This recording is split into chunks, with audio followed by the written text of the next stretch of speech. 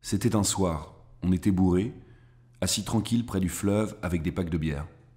Comme ça. Et tu parlais des voyages à faire, des villes à découvrir, du peu de temps qu'il nous est donné de vivre et de toutes les langues encore à apprendre. J'étais tellement, mais tellement d'accord avec toi, mec. On a bu, je ne sais pas combien de bières, et les autres nous ont rejoints.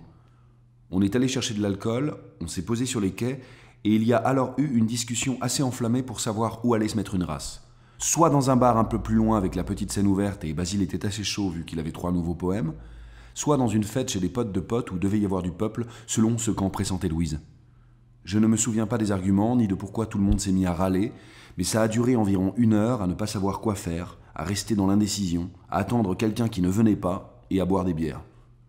Finalement, Églantine a dit qu'il fallait trouver un moyen de détruire l'argent qui empêche tout et qui nous réduit à vivre et à penser comme des porcs. Et j'étais tellement, mais tellement d'accord avec elle Louise s'est mise à gueuler qu'il y avait du peuple dans l'appartement, il a commencé à pleuvoir, alors nous sommes partis taper l'incruste à la fête. Plus de 150 personnes serrées les unes contre les autres dans la nuit, on a bu du Jack Daniels avec du coca, tu parlais du mythe de la caverne de Platon et tu répétais Nous qui avons le gai savoir, nous qui avons le gai savoir, nous savons, mais les autres? Et tu faisais un geste vague et mélancolique vers l'extérieur. Basile récitait un poème en slip dans une des chambres. En ce temps-là, j'étais en mon adolescence et Louise recueillait déjà des infos sur une autre fête au nord de la ville où devait y avoir du peuple. Je me souviens ensuite de la série de Pogo avec Églantine sur du punk, rock, hardcore et même sur la foule d'Edith Piaf, sous les yeux un peu atterrés des éléments les moins déchirés de la teuf. Je ne sais plus quand nous sommes sortis pour suivre Louise, mais c'est en arrivant devant l'arrêt du bus de nuit que j'ai vomi tout ce que je pouvais contre le mur. Les heures passaient, les mois. Nous ne prêtions pas attention aux légères secousses, aux petits tremblements qui faisaient osciller quelques secondes la terre. Comme cette autre fois où on était bourré. Il devait être dans les 9 heures, et on avait déjà bu au moins deux bouteilles de vin, et six bières, à nous deux, et on parlait de la découverte de l'Amérique, de l'extermination des Indiens, de l'esclavage, et du problème compliqué que tu disais, toi, insoluble, entre civilisation et barbarie. Et j'étais tellement, mais tellement d'accord avec toi, mec. Tu as roulé un pétard, et on a discuté trois heures en buvant du rhum, et j'ai fini par vomir devant l'épicerie quand nous sommes allés chercher vers minuit une autre bouteille de vin. Et c'est à la même période, pour l'anniversaire de Louise, on était raide bourré en fin d'après-midi, on chantait des chansons d'anniversaire porno, et j'étais tellement, mais tellement d'accord avec toi. On est allé dans un bar, Louise recueillait des infos pour trouver une fête le soir même où pourrait y avoir du peuple, et je ne me souviens de rien, sinon que je me suis endormi, recroquevillé dans les chiottes, après avoir vomi tout ce que je pouvais, à même le sol, et ils ont dû forcer la porte pour me faire sortir. Je me rappelle bien aussi de cette fête un peu arty, il y avait des gens de plus de 30 ans, ce qui nous paraissait alors vraiment étrange. L'ambiance était spéciale. Il y avait une mini table de ping-pong dans le salon. C'était une colloque atelier d'art avec des mecs plutôt stylés d'environ 23 ans qui nous regardaient avec dégoût, comme si des clochards étaient entrés dans un musée d'art contemporain et s'étaient mis à chier partout. Ils jouaient au ping-pong sans grand enthousiasme, avec un air savamment blasé, et leur existence semblait être à la fois une chose très importante, essentielle, et une épreuve dégradante qu'ils avaient pourtant décidé de subir avec élégance, magnanimité, hauteur de vue et résignation. J'ai fumé au moins trois joints. J'ai bu de la vodka pomme et du morito et j'ai ensuite enchaîné avec des 8-6. Je ne me souviens plus du tout où tu étais, peut-être déjà en train d'embrasser Louise à cette époque. Je me suis retrouvé tout seul avec Basile et les joueurs de ping-pong artistique. Un type s'est mis à me parler de musique concrète, du côté fasciste de la mélodie. Les lignes de portée sont comme les barbelés d'un camp de concentration, où les notes sont toutes obligées d'aller dans le même sens, asservies à la partition. Et j'étais tellement d'accord avec lui, même si je n'avais jamais vraiment réfléchi à cette question. Je buvais en essayant de garder les yeux ouverts. Le mec a pris une guitare et il s'est mis à taper dessus avec un couteau de cuisine en hurlant Gendarmerie nationale Gendarmerie nationale Et nous nous sommes tous mis à danser et je beuglais comme un ours. On est sorti avec trois types qu'on ne connaissait pas, on est arrivé devant une voiture, allez, on vous ramène. Et ils m'ont dit de me mettre à la place du conducteur et je disais, mais j'ai pas mon permis. Et je ne me souviens pas de comment je me suis retrouvé sur le périph' à 5h30 du matin à conduire, avec un très gros taux d'alcool par litre de sang, et ils hurlaient derrière moi, morts de rire, contrôle d'identité. Et j'ai fini par vomir sur les bottes du flic qui nous a arrêtés, et Basile hurlait dans la cellule de dégrisement.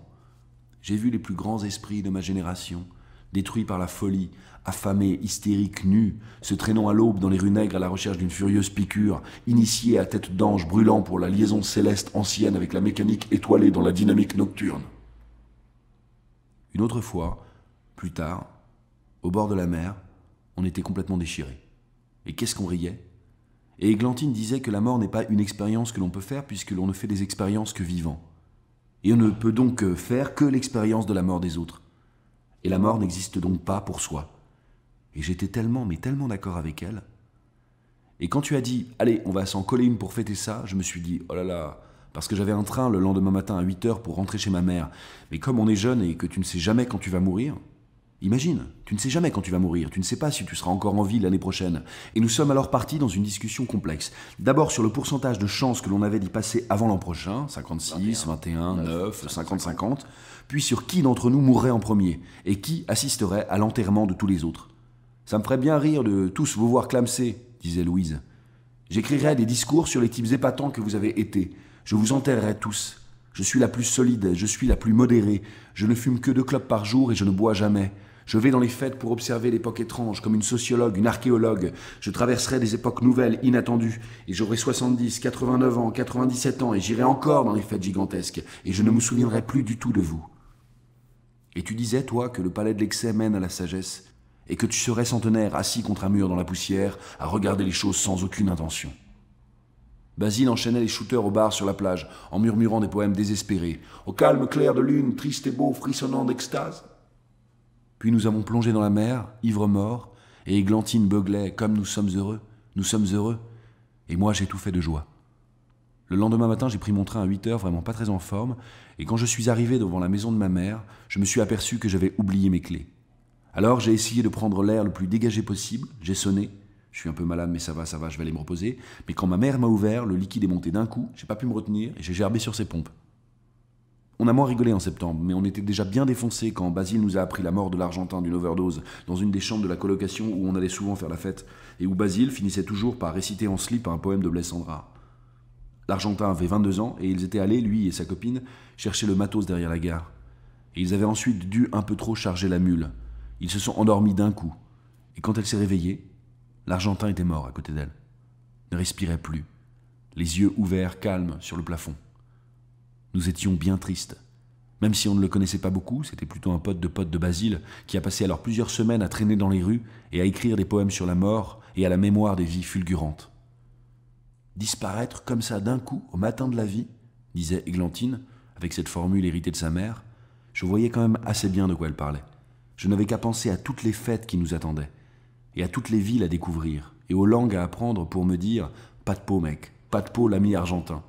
Et pour sortir, aller se jeter un demi, ce qu'on a fait aussitôt, et pendant une bonne partie de la nuit, en évoquant l'histoire des dictatures latino-américaines, et tu disais, toi, que dans une société égalitaire, chacun devrait sortir les poubelles une fois par semaine, et qu'il n'y avait aucune raison qu'il y ait une partie des gens qui chient et l'autre qui ramasse la merde. Et Louise disait que personne parmi nous n'avait de conviction assez forte pour tenir ne serait-ce qu'une demi-heure sous la torture. On t'arrache un ongle, tu nous balancerais tous. Et tu disais que l'on ne pouvait pas faire fi du contexte. Et on a continué à boire, électrisé, jusqu'à ce que je finisse par vomir dans le couloir de l'appartement d'une fille que je ne connaissais pas, mais qui m'avait ramené chez elle en me proposant de faire un voyage magique. Nous sommes arrivés au bon moment, mec, pile au bon moment dans l'histoire. Tout a été découvert, plus d'expansion possible. L'espace est une impasse de plusieurs milliards d'années-lumière réservée à quelques geeks multimilliardaires. Alors maintenant, nous sommes là, coincés, pas d'échappatoire. Il va falloir qu'on organise l'humanité si on ne veut pas que tout explose. J'étais tellement d'accord avec toi. On était en forme ce jour-là. On était les champions du monde. On avait commencé dès 10 heures du matin au pastis. C'était en août, près des cascades, sous les 40 degrés à l'ombre, on disait qu'il fallait sortir du capitalisme qui détruisait la planète et qui nous oblige à vivre et à penser comme des porcs. Tu évoquais l'option inévitable de la lutte armée et la nécessité de décapiter tous les patrons du CAC 40 et je n'avais aucune réserve sur ce point. On est allé voler un fromage de chèvre dans le supermarché du coin en évoquant les parcours misérables des vendus, de ceux qui renoncent pour un poste, une fonction, une respectabilité, et les porcs.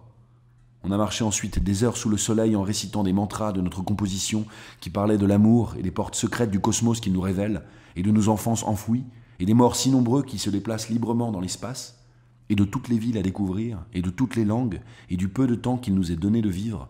Et on a vomi longtemps notre alcool ce soir-là, le long des falaises, la gorge râpeuse, les yeux extatiques, nous qui avions le gai savoir, nous qui avions le gai savoir, et j'avais 23 ans, et tout ça c'était dix ans avant le grand séisme qui frappa la ville, et qui fit de moi celui qui vous enterra tous.